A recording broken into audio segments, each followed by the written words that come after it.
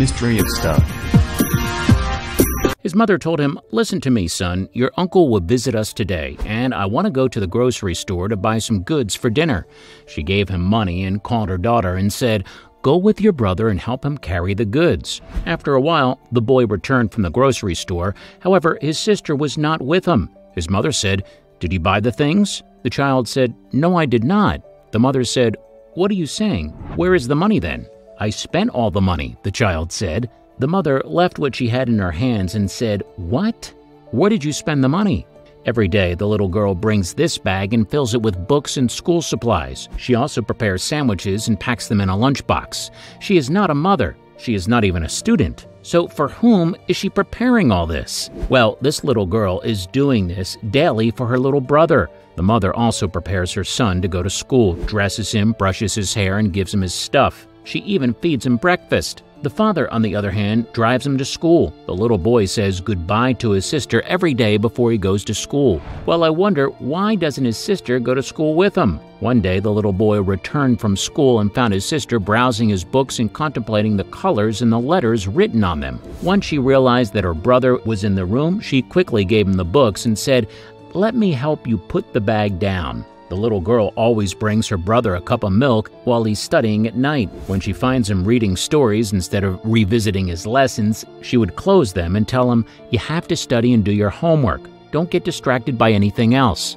Every morning, she wakes up her brother to prepare himself and go to school. One day on the weekend, his mother said, Why didn't you wake up early? You've slept too much. The child replied, It is Saturday, Mom. The mother said, Even if it's the weekend, your sister has been working since morning. Don't you feel her? She added. Listen, son, your uncle will visit us today. I want you to go to the grocery store and buy some goods for dinner. She gave him the money, called the girl, and told her, Go with your brother and help him carry the stuff. I am surprised. The girl is older than her brother. Why didn't the mother give the money to her instead? After a while, the little boy returned from the grocery store, but his sister was not with him.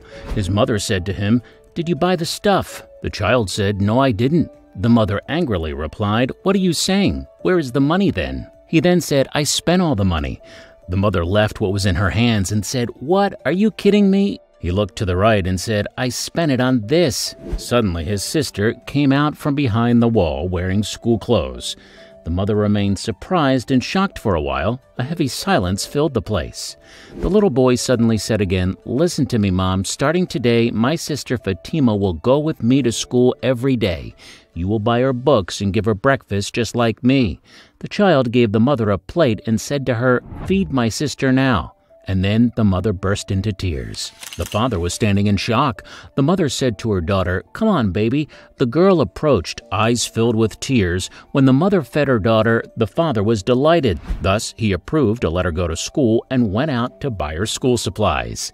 The message of today's story is that there is no difference between your children, male or female.